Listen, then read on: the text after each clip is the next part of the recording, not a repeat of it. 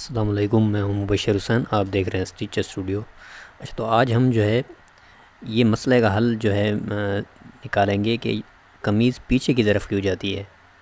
तो इसका एक मेन जो मसला है, वो हम जब आस्तीनें लगाते हैं स्लीव्स अटैच करते हैं तो उसमें हम एक मिस्टेक कर देते हैं।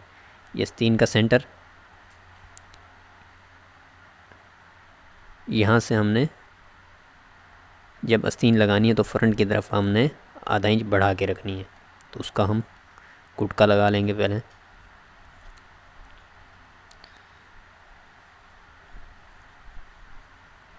आधा इंच फ्रंट की तरफ़, आगे की तरफ़।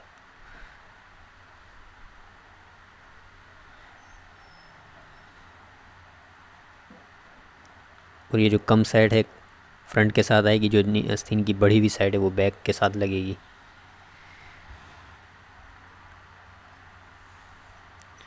कमीज़ पीछे जाने की एक वजह ये है, जो मैं आपको अभी बता रहा हूँ। ये तो हमने आधा इंच आस्तीन आगे बढ़ा के रखनी है, फ्रंट के साथ। बिल्कुल मिला के नहीं रखनी है, सिलाई से सिलाई।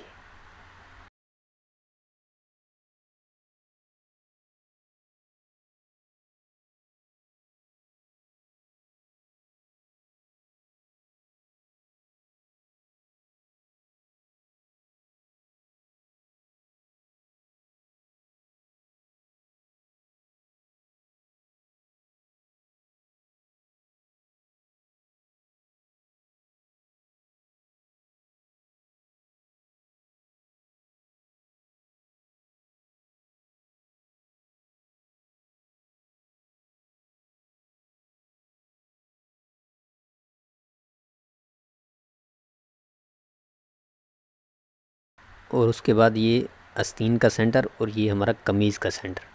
ये बिल्कुल मिलना चाहिए। ये आगे पीछे हो गया तो पीछे यहाँ पर गड़बड़ हो जाएगी। तो ये चीज़ का हमने ख्याल रखना है। ये सेंटर बिल्कुल मिलने चाहिए ऊपर शोल्डर पे। आस्तीन का सेंटर और कमीज़ का जो सेंटर है। अगर आस्तीन का सेंटर थोड़ा सा भी पीछे जाएगा तो ये फिर मसला होगा पहनने के बाद। तो इस चीज़ का ख्याल रखना है। बिल्कुल बराबर आना चाहिए ये। तो ये चीज़ बराबर होगी तो कमीज़ भी परफेक्ट बैठेगी।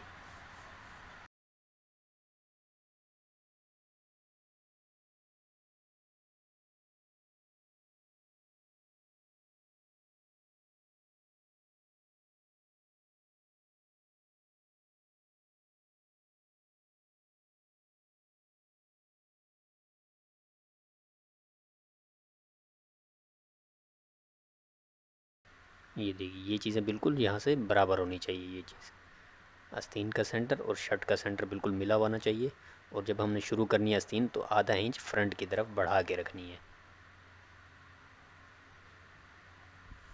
तो अब आपसे मिलेंगे इंशाल्लाह अगली वीडियो में। अपना और अपनों का बहुत सारा ख्याल रखें। खुदा हाफिज़।